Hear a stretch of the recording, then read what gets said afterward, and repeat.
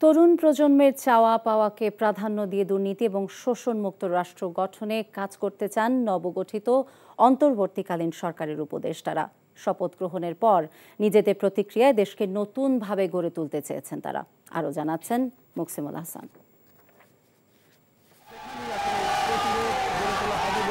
ছাত্র জনতা আন্দোলনের মুখে সাড়ে পনেরো বছরের শেখ হাসিনা সরকারের পতনের তিন দিন পর শপথ নেন অন্তর্বর্তীকালীন সরকারের উপদেষ্টা। নতুন সরকারের কাণ্ডারীরা শপথ নেওয়ার পর সততা এবং নিষ্ঠার সাথে দায়িত্ব পালনের প্রত্যয় ব্যক্ত করেন। সেই সাথে জনকল্যাণে কাজ করা এবং দেশকে স্থিতিশীল করতে সবার সহযোগিতা চান তারা। আমাদেরকে ক্রোধ সম্মরণ করতে হবে।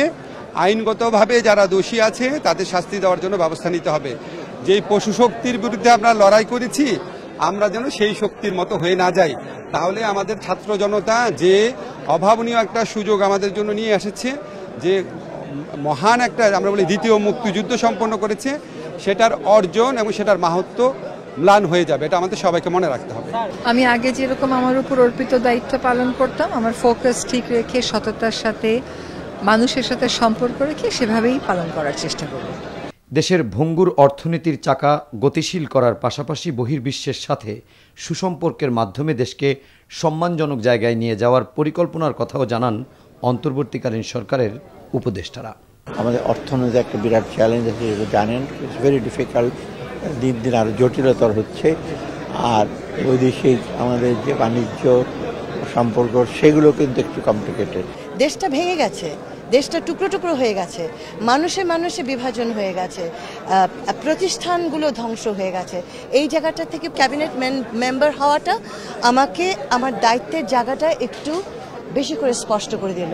বিশাল বিজয় আছে এবং হিকাপ আছে কিছু, সাময়িক। আমি নিশ্চিন্ত যে হিকাপ কাটিয়ে উঠবে দেশ যেহেতু তরুণরা এরকম একটা শক্ত অবস্থান নিতে পেরেছে, আমি নিশ্চিন্ত এই দেশের সামনে যাওয়া সুনিশ্চিত। কৃষি বলেন, স্বাস্থ্য বলেন, আমাদের যে রাষ্ট্রে যে যত রকম এবং দ্রব্যমূল্য যে সাধারণ মানুষ যে কষ্ট পাচ্ছে, সে দ্রব্যমূল্য মানে কমাতে, মানুষের জীবন সহজ করতে আমাদের যা যা করার আমরা করব।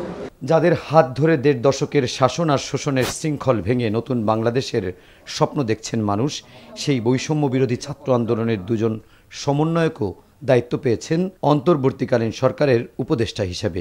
স্বাভাবিকভাবেই ছাত্র সমাজের এই প্রতিনিধিদের কাছে জনগণের আকাশচুম্বী প্রত্যাশা পূরণের প্রত্যয় ব্যক্ত করেন তরুণ তুর্কিরা।